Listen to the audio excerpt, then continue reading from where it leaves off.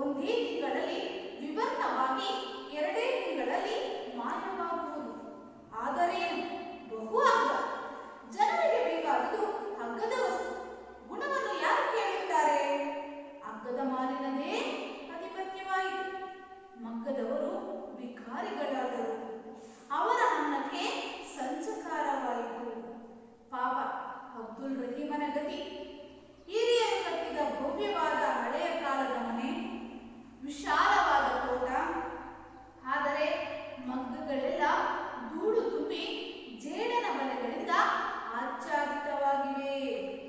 ಮನೆಯಲ್ಲಿ ಊಟಕ್ಕೆ ಇದೆಯೋ ಇಲ್ಲವೋ ಎಂಬಂತಾಗಿದೆ.